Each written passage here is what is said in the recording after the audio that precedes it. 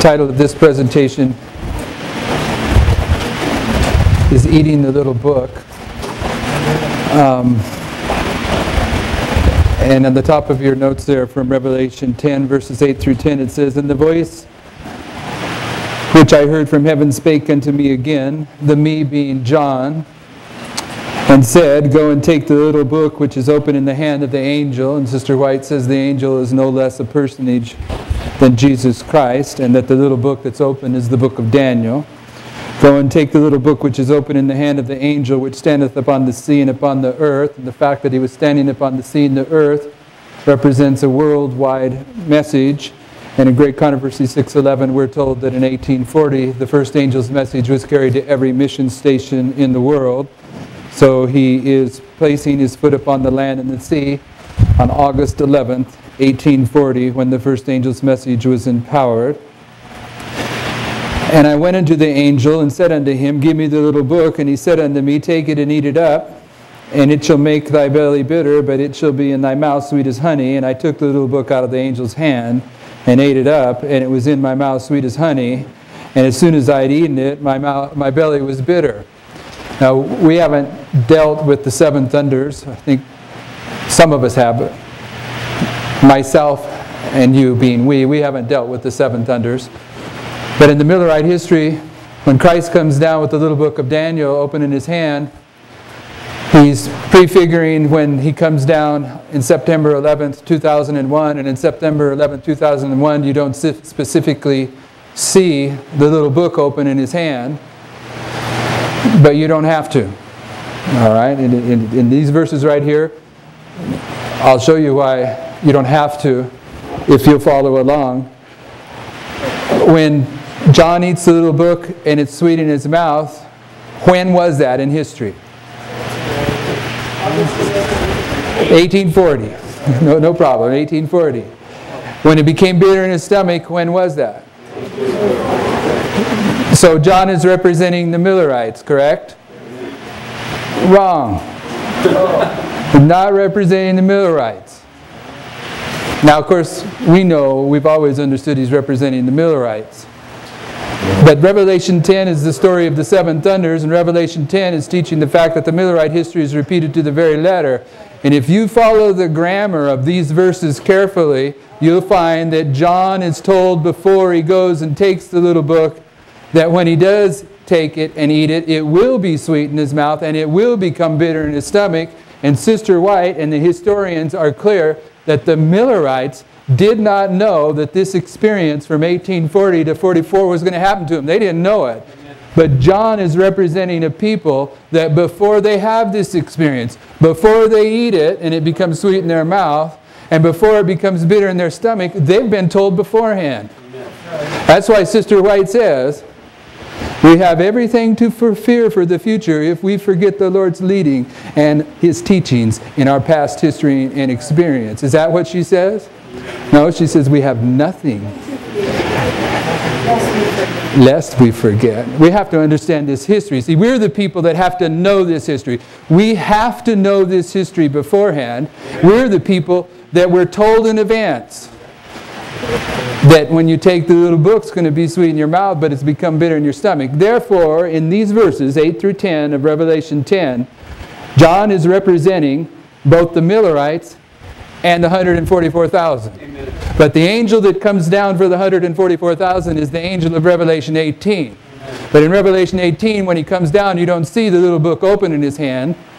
But you know that this history is repeating this history. And when he came down in this history, he had the little book of Daniel open in his hand. Therefore, when he came down on September 11, 2001, the testing message of the book of Daniel was brought to Adventism and the command to them was go take the little book and eat it. Now, what percentage of the Bible, as Christians, are we allowed not to be obedient to? What percentage? We got to go take the little book when he comes down, brothers and sisters. It's not optional. You see, we have to do it. We got to go take that little book. But how can we take the little book if we don't know he came down? How can we go take the little book if we don't know he's come down with the little book open in his hand? We can. We have to recognize when he came down. So, Seventh day Adventist Bible commentary, the comprehension of the truth, the glad reception of the message is represented by in the eating of the little book.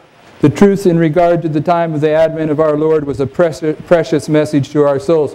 There's, there's some brothers and sisters in Adventism, unfortunately, brothers and sisters, and I don't know how to say this with the proper empathy or convey the thought correctly, but those people that are, there are some in Adventism that are fighting this message with everything they have. There's, there's some self-supporting ministers now that, from what I can tell, that now is their ministry, is to fight this message with all the foolish winds of doctrine and Adventism, you know, that you can go out and fight and try to oppose. They've set all those aside and determined that they're going to fight this message. But what I understand is, is if you understand this message and you take it, there's nothing as sweet as this message. This message is powerful in so many different ways. I mean, it's sweet. Um, a, uh, there's a very classic quote that follows here that we should be familiar with by this point in a prophecy school. All the prophets are speaking about the end of the world.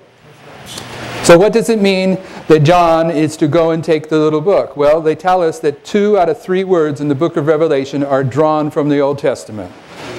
William Miller has a very nice statement where he's talking about um, the necessity of understanding the book of Revelation based upon the passages from the rest of the Bible. The, the book of Revelation is constructed from the rest of the Bible. So if we're going to understand what it means to take the little book, we will probably find it in the rest of the Bible. And so we'll look at a couple passages where the prophets ate the little book, remembering as we do that each of the ancient prophets are speaking more about the end of the world than they are their own time period.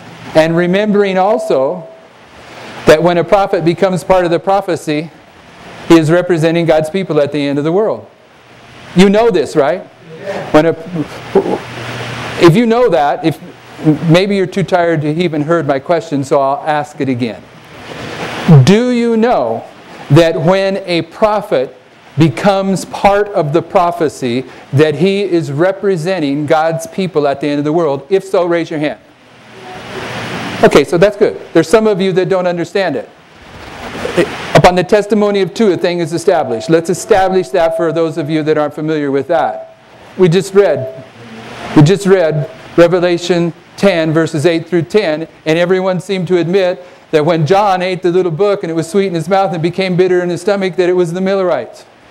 He was representing the Millerites at the end of the world. But when we looked closely at it, he was also representing the 144,000 at the end of the world. When a prophet becomes part of the prophecy, he's representing God's people at the end of the world. Uh, Sister White tells us many times that Zechariah, turn to Zechariah if you would, Zechariah chapter 3, that that vision applies with peculiar force to the antitypical Day of Atonement, to the investigative judgment, especially the closing work.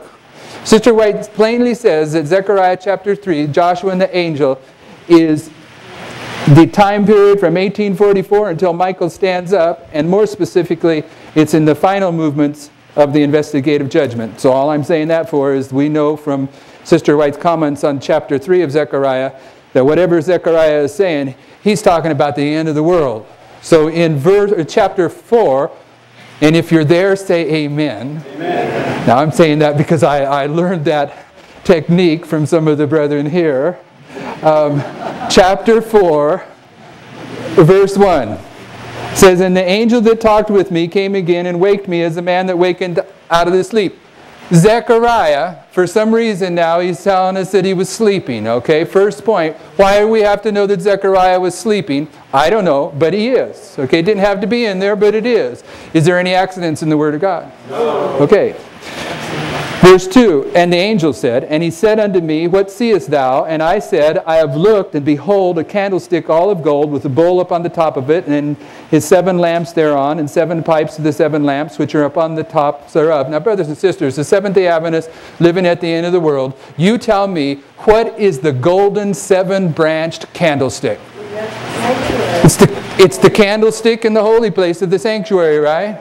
And of course, Zechariah, as a prophet that is living in the time period when they're rebuilding the sanctuary after they come out of Babylon, he'll know what the seven branch candlestick is. He's the prophet there that's actually helping build the sanctuary. So he'll know, right? Right?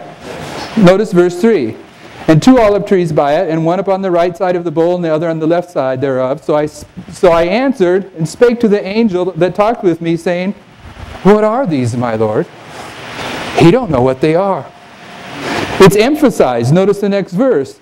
Then the angel that talked with me answered and said unto me, Knowest thou not what these be? And I said, No, my Lord. Zechariah doesn't know. He doesn't know what the seven branch candlestick is, and he don't know what the two olive trees are. How can a prophet that's living when the sanctuary is being reestablished not know what those are? Because he has become part of the prophecy. And as such, he's representing God's people at the end of the world. He's representing the people that were asleep. Did the Millerites fulfill the parable of the ten virgins to the very letter? Did all the virgins sleep? When they awoke at the midnight cry and they, they climaxed into October 22nd, 1844, did they realize they didn't know what the sanctuary was? They didn't know what the seven branch candlestick was.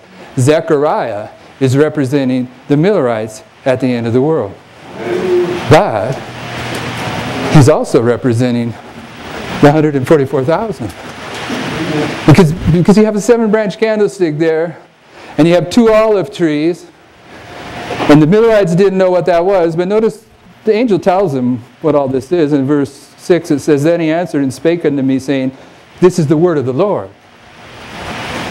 Saying, This is the word of the Lord unto Zerubbabel, not by might nor by power, but by my spirit, saith the Lord.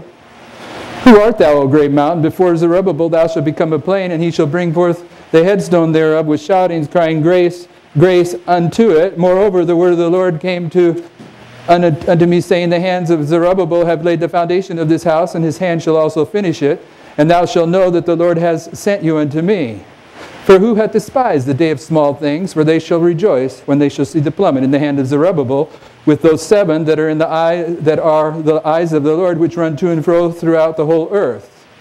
Then I answered and said unto him, What are the two olive trees upon the right side of the candlestick and upon the left side thereof? And I answered again and said unto him, What are the two olive branches which through the two golden pipes empty the golden oil out of themselves? And he answered me and said, Knowest not what these be? And I said, No, my Lord. Then he said, These are the two anointed ones that stand by the Lord of the whole earth. Millerites didn't understand what the furnishing of the sanctuary was when they woke up. But the 144,000, when they wake up, they don't know what the two anointed ones are. They don't know what the oil is. What are the two anointed ones? Just, just think about Revelation 11. What are the two anointed ones? The two anointed ones for the Millerites were the Old and New Testament. Are the two anointed ones the Old and New Testament for us at the end of the world? Yeah, if you say if you believe it's yes, say amen. amen. No, brothers and sisters. No, brothers. So we don't know. We're at the end of the world. We're waking up. We don't know. The two anointed ones for Seventh Day Adventists at the end of the world are the Bible and the Spirit of prophecy. Amen. Okay. You knew that. All right? But This history here of the 144,000 is repeating the, the history of the Millerites, which is repeating the history of Christ. What was the two anointed ones in the history of Christ? Wasn't the Old and New Testament, was it? It was the law and the prophets, wasn't it? The Old Testament was divided into two, two parts. There's two anointed ones in each of these history. And at the end of the world, God's people don't know what the outpouring of the Holy Spirit is. Ask a Seventh day Adventist. In the parable of the ten virgins, this is the fulfillment of the parable of the ten virgins. This is the fulfillment of the parable of the ten virgins. In the parable of the ten virgins, what does the oil represent? The Holy Spirit. Yeah, that's, what, that's what we always say. It's the character of Christ. We sometimes say that. But if you have an Ellen White study Bible, commenting on Zechariah chapter 4, this is what she says. By the holy beings, this is from Review and Herald, February 3rd, 1903. By the holy beings surrounding his throne, the Lord keeps up constant communication with the inhabitants of the earth. The golden oil represents the grace with which God keeps the lamps of believers supplied. Were it not that this holy oil is poured from heaven in the messages of God's Spirit, the agencies, agencies of evil would have entire control over men. God is dishonored when we do not receive the communications that He sends us. Thus, we refuse the golden oil. Hmm. Review and Herald, February 3rd, 1903. Brothers and sisters, we don't know what the golden oil is. We don't know what the oil in the parable of the ten virgins is. And the oil in the parable of the ten virgins is the latter rain, and the latter rain is a message. That's why in Isaiah 28, it says, We will not hear. It's a message. So, Zechariah, all we're proving here is that when a prophet becomes part of the prophecy, he represents God's people at the end of the world, and God's people at the end of the world are the Millerites and the 144,000. So if you go back to our notes where we have a passage from Ezekiel chapter 2, Ezekiel becomes part of the prophecy, but Ezekiel symbolizing God's people at the end of the world, and he's just given a second testimony to what it means that John goes and takes that little book and eats it. And from your notebook, beginning in verses, verse 1 of chapter 2, it says this. And he said unto me, Son of man, stand upon thy feet, and I will speak unto thee. But it's just, you have to stand upon your feet. Okay? Later on, we're going to get to a point where we talk about how the Lord causes God's people to stand upon their feet in agreement with Ezekiel 37. Okay? The only way you stand on your feet is by receiving the prophetic word. All right? So Ezekiel's talking about people that stand up on their feet. And he speaks to them, and the Spirit entered into me when he spake unto me and set me upon my feet that I heard him that spake unto me. And he said unto me, Son of man, I send thee to the children of Israel to a rebellious nation that hath rebelled against me. They and their fathers have transgressed against me even unto this very day, for they are impudent children and stiff hearted. I do send thee unto them, and thou shalt say unto them, Thus saith the Lord God. And they, whether they will hear or whether they will forbear, for they are a rebellious house, yet shall know that they yet shall know that there hath been a prophet among them, and thou, son of man, be not afraid of them, neither be afraid of their words. Though briars and thorns be with thee, and thou doest well among scorpions, be not afraid of their words, nor be dismayed at their looks, though they be a rebellious house. And thou shalt speak my words unto them, whether they will hear or whether they will forbear, for they are most rebellious. But thou, son of man, hear what I say unto thee. Be not thou rebellious like that rebellious house. Open thy mouth and eat what I give thee. Now, brothers and sisters, 1 Corinthians 14 32 says, The spirit of the prophets is subject unto the prophets. It means that the prophets are all telling the same story. When, when Ezekiel here is eating the little book, it's the same as John eating the little book. It's the same illustration. If it wasn't, if Ezekiel was telling one story about eating the little book and John was telling another story about eating the little book, be confusion. 1 Corinthians 14 32 says, The spirit of the prophets are subject unto the prophets. And the next verse says, For God is not the author of confusion. The spirits of the prophets agree with one another. When Ezekiel's eating this little book, that's John eating the little book, which is the Millerites eating the little book, which is you and I eating the little book at the end of the world. Unless we refuse to eat the little book. Open thy mouth and eat that I give thee. And when I looked, behold, a hand was sent unto me. Lo, a roll of a book was therein, and he spread it before me, and it was written within and without, and there was written therein lamentations, mourning, and woe. Moreover, he said unto me, Son of man, eat that thou findest, eat this roll, and go speak unto the house of Israel. So I opened my mouth, and he caused me to eat this roll. And he said unto me, Son of man, cause thy belly to eat, and fill thy bowels with this roll that I give thee. Then I did eat, and it was horrible tasting in my mouth. And it was in my money mouth as honey for sweetness. How was it for John? Same thing. This, this is the same experience. What's he doing when he's eating the little book?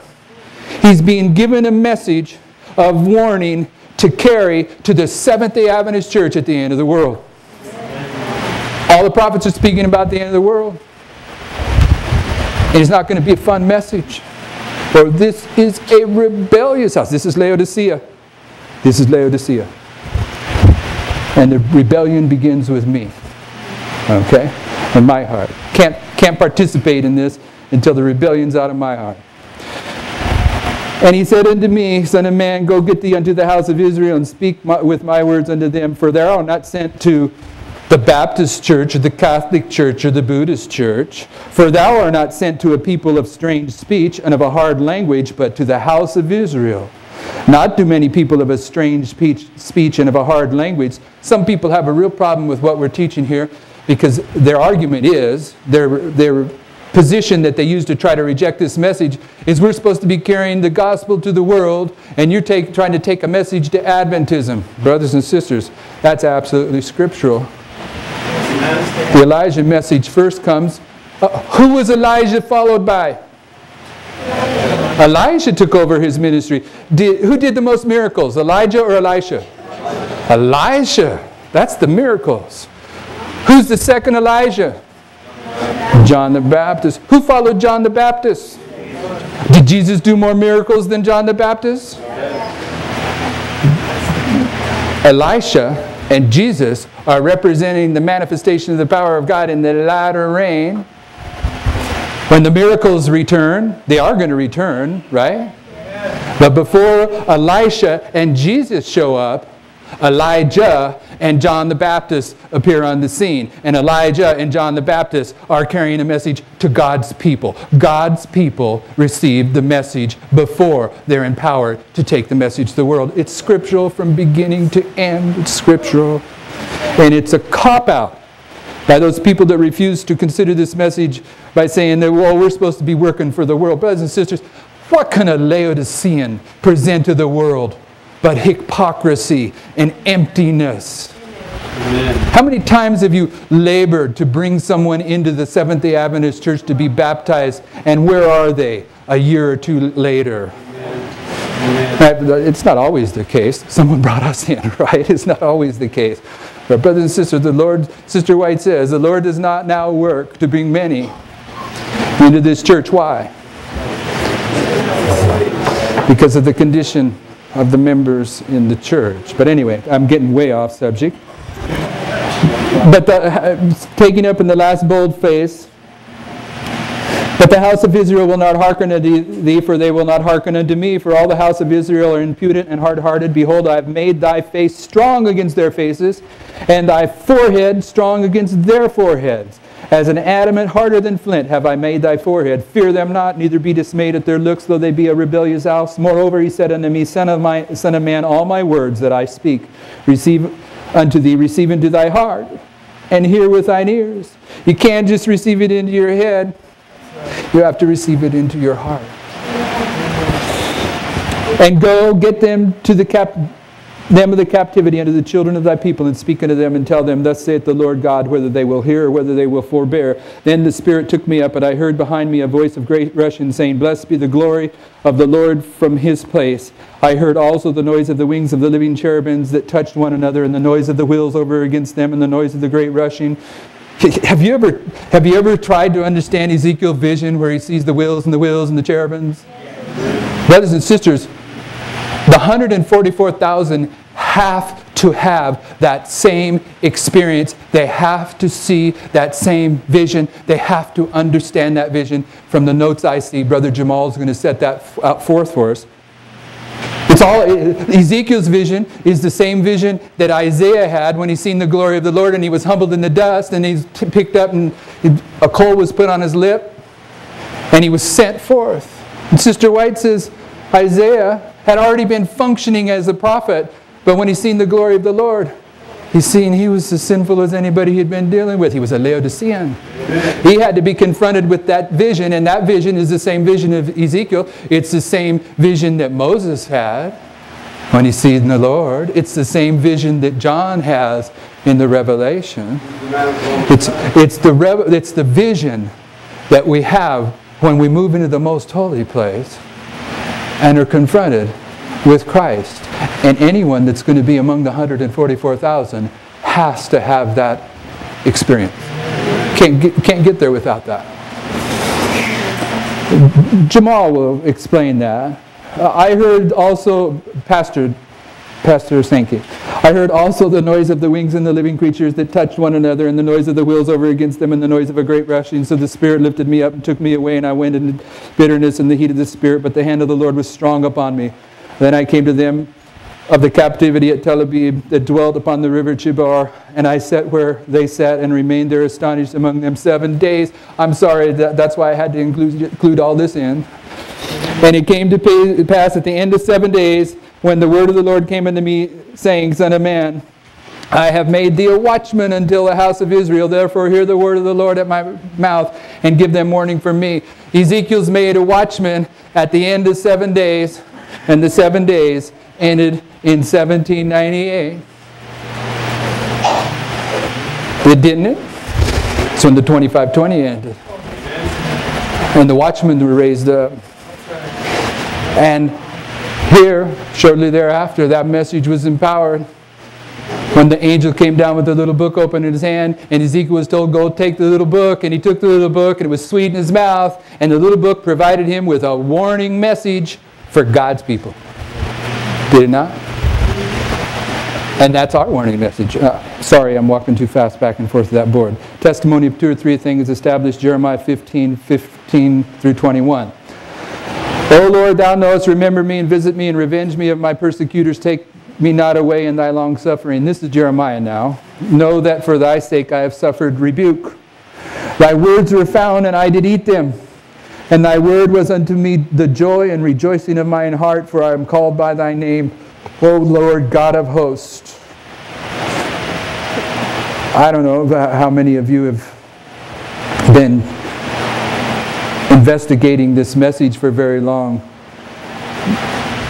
But sometimes this message here, you see something, maybe it's something you've seen before.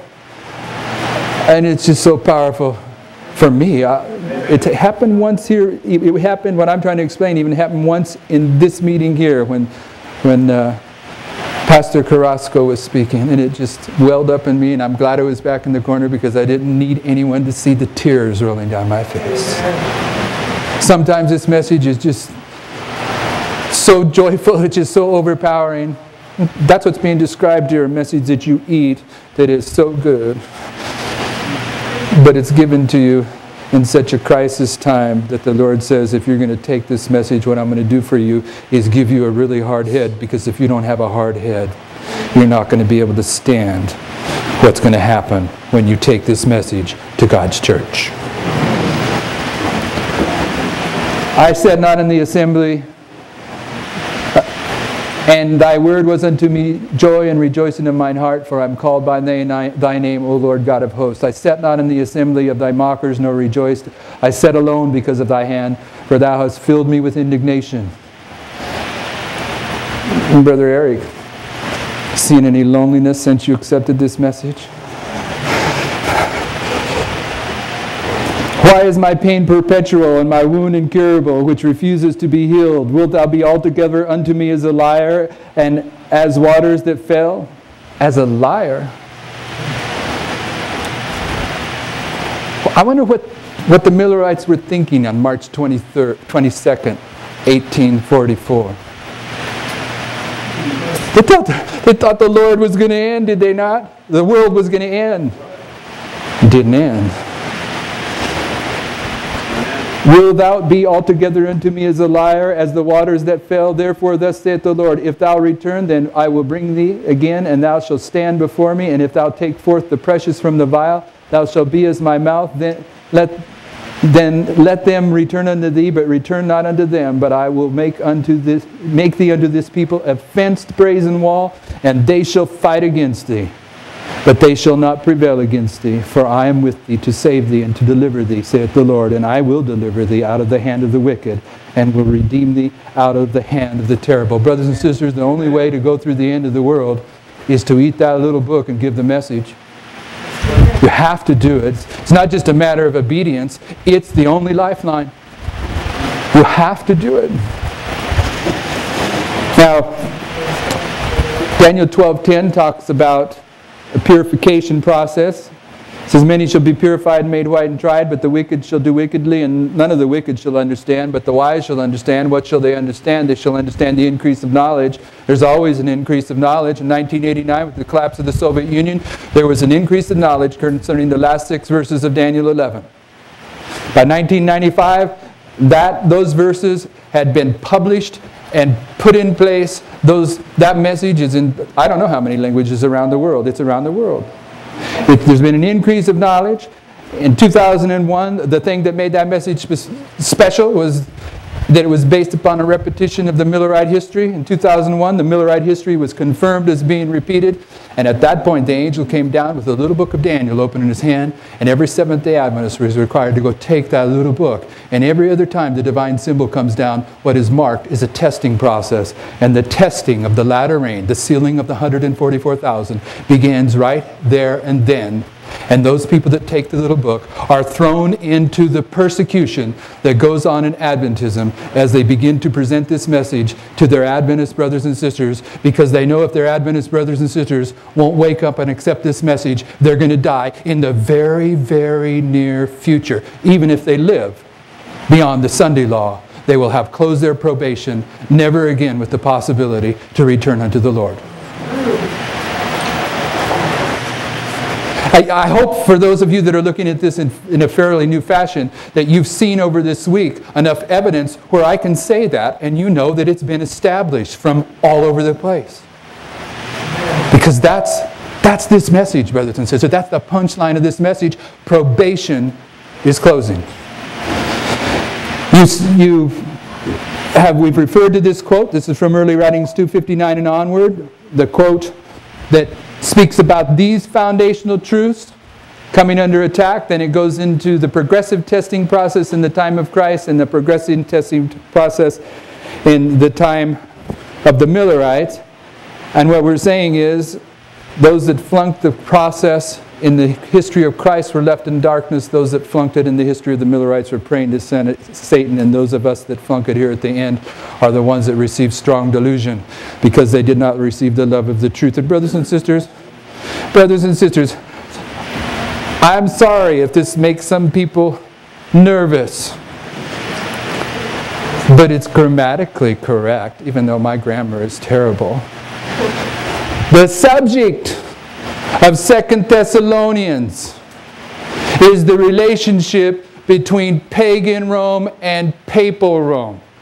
Paul is talking about the fact that pagan Rome would restrain the man of sin from rising into power until pagan Rome was taken out of the way. It's this very passage of Scripture that the angels took William Miller to. You remember, you read the quote, the angels guided the mind of William Miller. And in 2 Thessalonians chapter 2, William Miller says, what led him to understand that the daily was paganism was he seen that in 2 Thessalonians chapter 2, paganism had to be taken out of the way before the man of sin would be established upon the throne of 538. And as Paul's telling about the relationship between paganism and papalism in the very passage that William Miller comes to identify the daily in the book of Daniel as paganism, in that passage, when Paul's getting to the punchline, he says, Those that will not receive the love of the truth are going to receive strong delusion.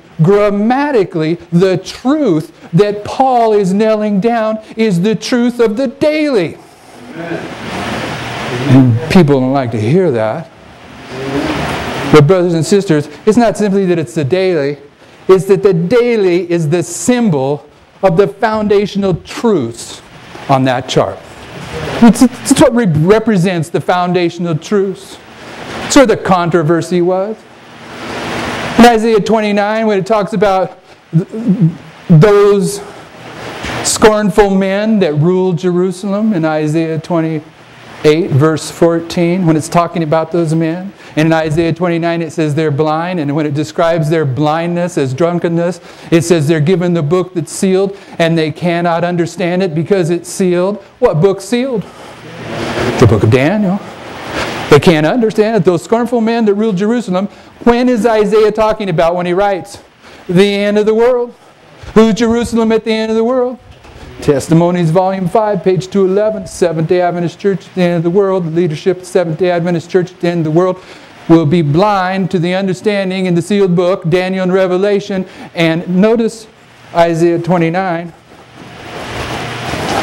Not sure why I'm going there.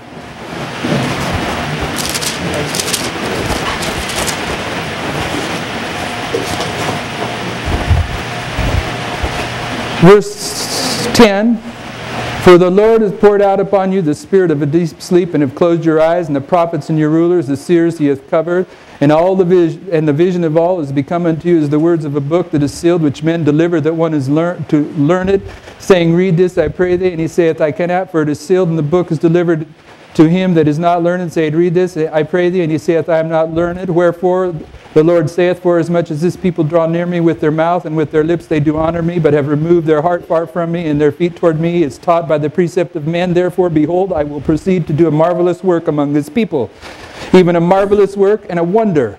For the wisdom of their wise men shall perish, and the understanding of their prudent men shall be hid. Woe unto them that seek deep to hide their counsel from the Lord and their works are in dark, and they say, Who seeth us and knoweth us? And notice the next verse. Surely your turning of things upside down shall be esteemed as potter clay. For shall the work say of him that made it, He made me not? Or shall the thing framed say of him that framed it, He had no understanding? Brothers and sisters, when you teach that the daily in the book of Daniel represents Christ's sanctuary ministry, you're teaching that it is a holy power. The people that put this chart together by the direction of angels said that the daily represented paganism, a satanic power. We've taken the most important symbol in the book of Daniel to the Millerite approach to Bible prophecy that the daily is paganism, and you've turned it upside down. And if you don't think the daily is the most important symbol in the book of Daniel to the Millerite understanding of prophecy, you're missing it. The foundational approach to William Miller, the study of prophecy, is that there's two desolating powers, paganism and papalism, and the symbol in the book of Daniel that tells you more about paganism than any other is the daily. And when you turn it upside down, you can't figure out what the book of, the book of Daniel is. It's sealed up. It's sealed up, brothers and sisters, but what you've done what you've done is you've rejected the truth of 2 Thessalonians chapter 2. And because you receive not the love of that truth, God sends you strong delusion. That truth is represented on the foundations. You've stepped off the foundations. And you've closed down your ability to understand end time Bible prophecy.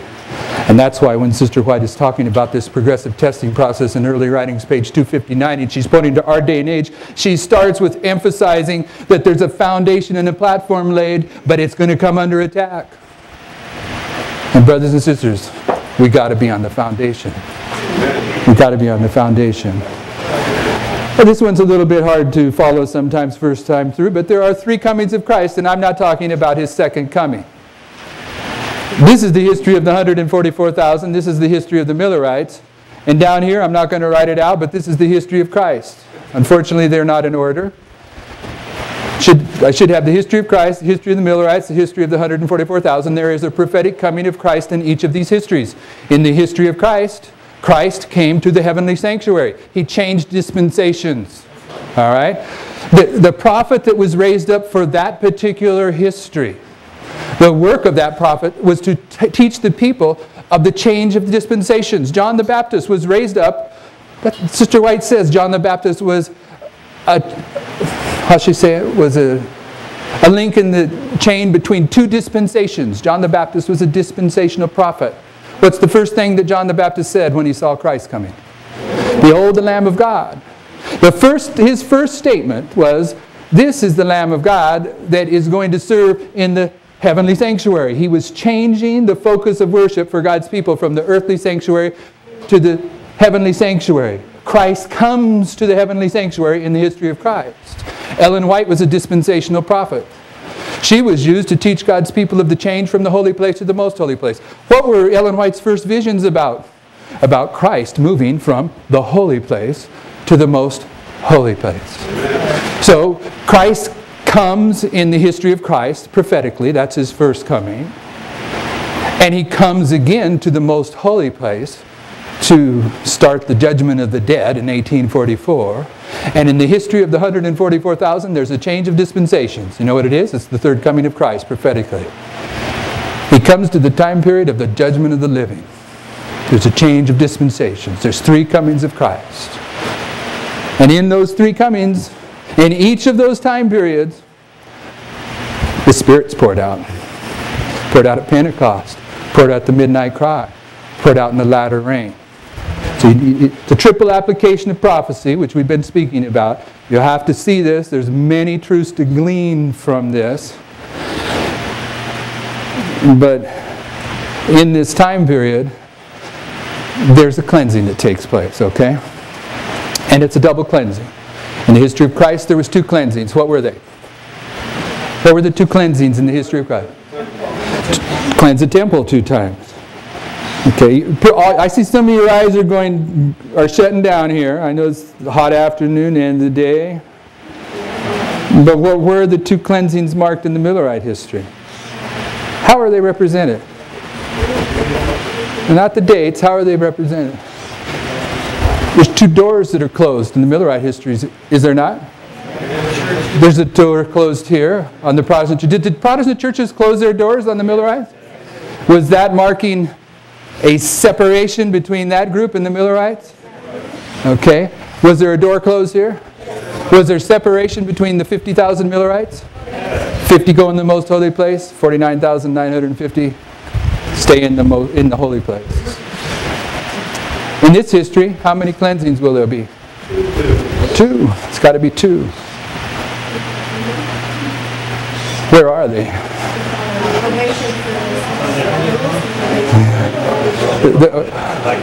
Okay. Right here at the Sunday Law, Seventh day Adventists are going to demonstrate if they prepared a character for the seal of God or the mark of the beast, right? And then down here, there's a door closed on all mankind. In this history here, those people outside of Adventism are being tested, separated. What's happening in this history? Adventism is being tested and separated.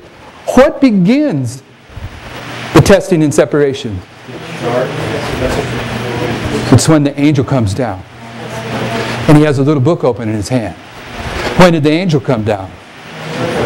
When the Twin Towers of New York City came down. When Islam, the third woe arrived, the latter rain began. Testing process began. What's your responsibility at that point in time? It's right where we started in this presentation, Revelation 10, verses 8 through 10. Go, take the little book from the angel's hand and do what with it? So when you eat that little book, what are you going to do? You're going to carry that message to who? To Adventism. To Adventism, brothers and sisters. In You'll see the three histories here on the top of page 248 from Great Controversy, page 611. The angel who unites in the proclamation of the third angel's message, that's Revelation 18, is to lighten the whole earth with his glory. A work of worldwide extent and unwanted power is here foretold. The Advent movement of 1844. There's the Millerite history, and the first sentence of the next paragraph says the work will be similar to that of the day of Pentecost. The last paragraph says the great work of the gospel is not to close with less manifestation of the power of God than marked its open, opening. The prophecies which were fulfilled in the outpouring of the former rain at the opening of the gospel are again to be partially fulfilled in the latter rain at its close. Is that what it says? The prophecies that were fulfilled in Pentecost are fulfilled today. You hear people saying, we're, yeah, we can know in a, a, a, general sense the latter rain is falling, but for you guys to be saying that the latter rain began to sprinkle on September 11th, that's not scriptural. But Sister White says the prophecies that were fulfilled at Pentecost are repeated at the end of the world. And you know, in the book of Acts, when the Pentecost was being fulfilled, what was Peter doing? He was quoting from Joel saying, This is what Joel prophesied this is when the Holy Spirit's poured out. that prophecy, Peter was fulfilling that prophecy. Therefore, if that prophecy is going to be fulfilled at the end, we should expect to see God's people saying, hey, the Holy Spirit's being poured out in fulfillment of Joel and Acts chapter 3. You follow the logic? Sister White didn't say the prophecies that were fulfilled at Pentecost will be partially fulfilled. She says they will be fulfilled. They're going to be repeated. If you want to know what those prophecies were, go look at the history of Pentecost in the book of Acts. You should expect to see that repeated. We are required, required to know when the latter rain begins to fall because when the latter rain begins to fall, that's the message that we eat that we have to carry to the Adventist church. How can we carry a warning message if we don't know what the warning message is. We could be the fastest runner, though. We could get there ahead of everyone else and not know what the message is, right? Now, notice the next quote, The Desire of Ages 161. Winding down here, uh, unfortunately. In the cleansing of the temple, Jesus was announcing his mission as the Messiah and entering upon his work. In cleansing the temple from the world's buyers and sellers, Jesus announced his mission to cleanse the heart from the defilement of sin. Brothers and sisters, since 9 11 2001, Christ is cleansing the temple of Adventism, and what he's doing, he's offering you and I the opportunity to wake up through the prophetic message, and he will cleanse our heart from sin. That's his mission. That's his mission. But his mission will have, it will have an, another result, and it's that he's going to separate the wise and the wicked, the wise and the foolish, the gold and the dross in Adventism. And brothers and sisters, we get separated spiritually before we demonstrate the separation. We demonstrate the, the separation at the Sunday law. But there's no way that we all come to the day before the Sunday law and then we settle in to the character for the seal of God or the character for the mark of the beast. Perhaps there is someone in here that has already settled in to a character prepared for the seal of God. And perhaps there is someone in here that's on the other side of the issue. You're finished in the judgment. That's the time we're living in. We're living in that time. In the judgment of the living, the living saints' names are coming up before the Lord. And it doesn't all happen the day before the Sunday law. The Sunday law is only where it's demonstrated. And if I close my probation today against the truth, prepared a character for the mark of the beast, I receive strong delusion right now, today. We're in that time period. That's one of the things I was hoping to convey to everyone, brothers and sisters. This is why you have to have the head of flint. We're not just going against loving Christians that have a different point of view, we're going against brethren that if they go too far in fighting this message, they have lost their way totally forever and they're going to be under the control of Satan and they're not going to be nothing but nasty about how they deal with the messengers and the message. So, next quote. Uh, uh, uh, uh Okay, I'm going to skip over the first one, two, three paragraphs of the next quote from Selected Messages, Book 2, page 118. Last quote says, When Jesus began his public ministry, I'm on page 249, second full paragraph from the top. When Jesus began his public ministry, he cleansed the temple from his sacrilegious profanation. Among the last acts of his ministry was the second, second cleansing of the temple. So, in the last work of warning for the world, two distinct calls are made to the churches. Next quote from Great Controversy says the prophet, and um, I was having a conversation a couple days ago with Pastor Emiliano. I hope I pronounced your name right. Um, and uh, this is the quote I was speaking about, okay? The Sister White, in these passages, she's comparing the cleansing of the temple with the work of Malachi suddenly coming to his temple, uh, or the messenger of the covenant suddenly, suddenly coming to his temple and uh, in this quote, quote, it says, Says the prophet, who may abide the day of his coming, and who shall stand when he appeareth? For he's like refiner's fire and like fuller's soap. and he shall set as a refiner and purifier of silver. This is Malachi. And he shall purify the sons of Levi and purge them as gold and as silver, that they may offer unto the Lord an offering in righteousness. Those who are living upon the earth when the intercession of Christ shall cease in the sanctuary above are to stand in the sight of a holy God without a mediator. Their robes are to, must be spotless, their characters must be purified from sin by the blood of sprinkling. Through the grace of God and their own diligent effort, they must be overcomers in the battle with evil. While the investigative judgment is going forward in heaven, while the sins of the penitent believers are being removed from the sanctuary, there is to be a special work of purification, of putting away of sin among God's people upon this earth. This work is more clearly presented in the messages of Revelation 14. What I'm saying here, brothers and sisters, is Sister White says that when Christ cleansed the temple, that was also a fulfillment of, Mal- of the messenger of the covenant in Malachi suddenly coming to the temple. Malachi was fulfilled when Christ cleansed the temple those two times. M- Malachi, the the coming of the messenger of the covenant suddenly to his temple was, is fulfilled here at the end of the world when the temple is cleansed. But we already read, and it's right down here at the bottom of the page, that Daniel 8:14, last paragraph, Daniel 7:13, and the Lord coming to his temple foretold by Malachi are the descriptions of the same event. So Malachi was fulfilled in the Millerite history. It was fulfilled in the history of Christ, and it's fulfilled at the end of the world. And when the messenger of the covenant suddenly comes to his temple. It's in connection with Christ cleansing his temple. These three histories, a triple application of prophecy, are emphasizing a purification process, a two step purification process that goes on among God's people in order to produce the 144,000 and then to produce the great multitude. Um, page 250. How many out there have I lost on the, the logic here of what I'm presenting? Yeah, maybe you're following me, but you have no idea of what I'm trying to say. Raise your hand. You afraid to raise your hand? I don't mind. Okay, you're with me then. It's, uh, maybe you're with me. Sometimes that's a bashful question. What I'm trying to emphasize in these first three presentations today, brothers and sisters, is that for a long time this message was, was explaining the last six verses of Daniel 11. That's what it was all about. But then on September 11th, 2001, suddenly we had to start explaining that the latter rain began and the third woe arrived. Shortly thereafter, the 1843 chart becomes a subject of investigation because if you're going to explain Islam, brothers and sisters, you got to do it on, on the basis of how the pioneers understood Islam. You can't explain it any other way.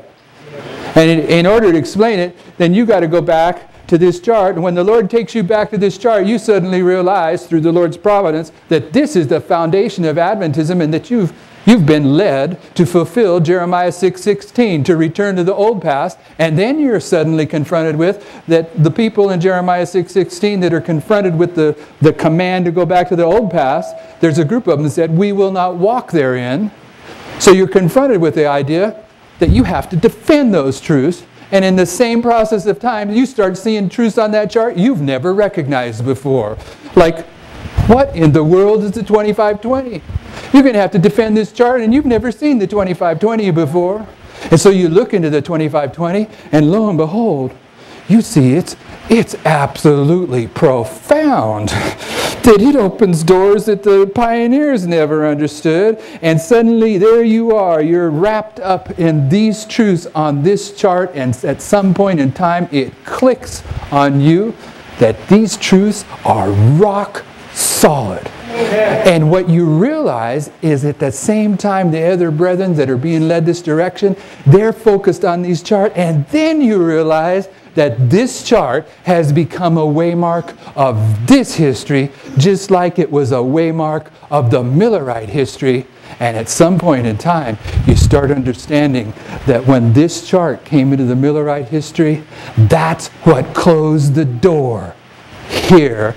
And the fact that these charts are a subject of investigation now, just emphasizing that the strong delusion that comes upon Adventism just before the Sunday law is about to take place. And that's what these first three presentations were about, brothers and sisters, is to try to just bring you a little bit of the biblical emphasis that when this angel comes down with the book open in his hands, this is when Christ goes into the desert to be tested by the devil. This is where Ezekiel and Jeremiah have to be given a hard head because they're in a conflict. This is where the test of circumcision takes place. And this is where the test of the sealing of the 144,000 begins. Shall we pray?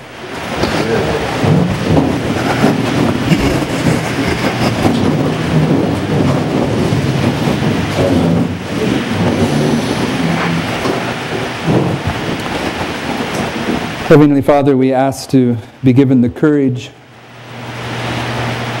to come before you and take that little book out of your hand and eat it. And we ask if we do so that you would fulfill your promise and give us the, the hard head that we might be faithful messengers. But in proportion to the strength of, of that hard-headedness hard-headedness that you promise us, we ask that you would soften our heart in proportion to that so that as we carry this message, we would have your love that is constraining us to do so. Your mercy, your forgiveness as we deal with these men and women that appear to be closing their probation forever while believing that they're defending your truth. Give us the experience that you had as you walked through this identical history and stood on, sat on the, the mountain and wept over Jerusalem as you realized that they were making the same decisions that are being made now. We need that empathy, we need that love. But we also need that courage that you put in the heart of Elijah, the heart of John the Baptist, to be faithful about the task you've given us, that this work might be finished, that your people might be sealed, that the world might see a demonstration of your character in the crisis of all crises that's about to take place with blinding speed when the Sunday law test arrives in the very near future. And we thank you for being with us throughout these presentations so far and ask once again for your continued presence. In Jesus' name, amen.